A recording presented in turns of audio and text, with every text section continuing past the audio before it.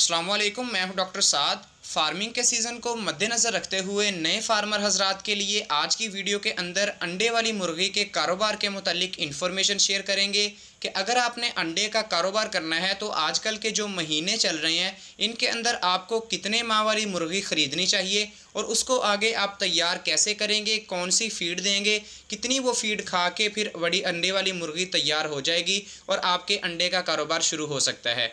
तो जो भी बंदे जिनके जहन में ये अभी 100-200 मुर्गी पाल के उसको अंडे के कारोबार के लिए तैयार करने के बारे में सोचे चल रही हैं, उनके लिए आज की वीडियो ख़ास तोहफ़ा है। तो लाजमी वीडियो को मुकम्मल सुनकर फिर अपनी राय का भी इजहार कीजिएगा और जिस बंदे के जहन में जो भी सवाल हो इन उसके भी जवाब दिए जाएँगे। तो चले आइए, बिना तखीर हम आज के टॉपिक का आगाज़ करते हैं। सबसे पहले आप एक दिन वाले चूज़े की कैटेगरी को अंदर से निकाल दें, क्योंकि एक दिन वाला चूज़ा अगर अभी आप पालेंगे अंडे के पर्पज़ के लिए तो वो बिल्कुल आपकी अंडे वाली मुर्गी तैयार नहीं होगी। होगी और आपकी अंडे की पीक प्रोडक्शन आपको हासिल नहीं होगी।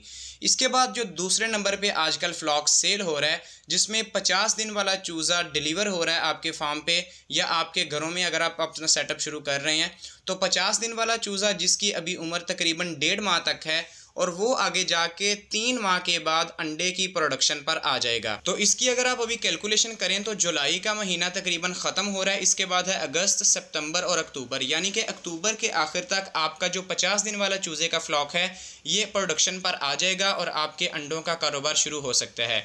इसके साथ ही जो तीसरे नंबर पर फ्लॉक है, जिसका वज़न पाँच ग्राम तक है और वो भी होम डिलीवरी के तहत आपको सप्लाई किया जा रहा है हमारे चैनल के मदद से।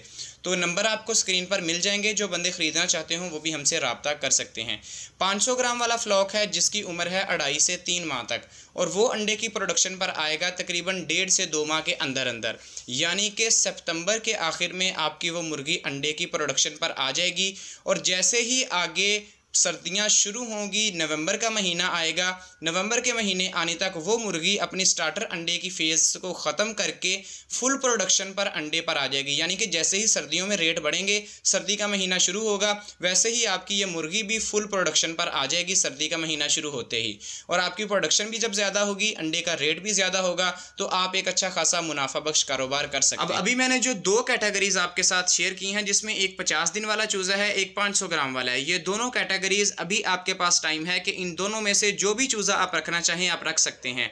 अगर तो आपके पास इन्वेस्टमेंट ज़्यादा है 500 ग्राम वाला चूज़ा आप आसानी के साथ उसको पाल सकते हैं और जगह भी आपके पास ज़्यादा है तो आपको बिला तखीर 500 ग्राम वाले चूज़े के अंदर इन्वेस्टमेंट करनी चाहिए, जिसका आज का रेट तकरीबन दो सौ पर पीस के लिहाज से हम सेल कर रहे हैं होम डिलीवरी के तहत और जो 50 दिन वाला चूज़ा है, अगर तो आपके पास जगह कम है इन्वेस्टमेंट अभी कम है, ज़्यादा पैसे नहीं लगा सकते तो 50 दिन वाला चूज़ा आप ख़रीद लें, उसको फ़ीड के ऊपर पालें, देसी फ़ीड के ऊपर पालें तो आप उसको आखिर में सर्दियों तक जाके अंडों वाली मुर्गी बना सकते हैं।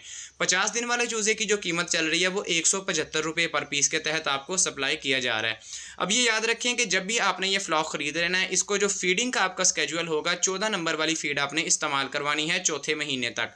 जब मुर्गी चौथे महीने में आ जाएगी, तब आपने तेरह नंबर फ़ीड का जो स्टार्टर आता है तेरह नंबर फ़ीड अंडे वाली फ़ीड होती है और ये इसका स्टार्टर आपने इस्तेमाल करवाना है और जब पाँचवें महीने में आ जाएगी तो तेरह नंबर वाली जो फ़ीड चलती है आमतौर पर अंडे की प्रोडक्शन के लिए, वही फ़ीड आपने इस्तेमाल करवानी है और इन आपकी मुर्गी फुल अंडे की प्रोडक्शन पर आ जाएगी।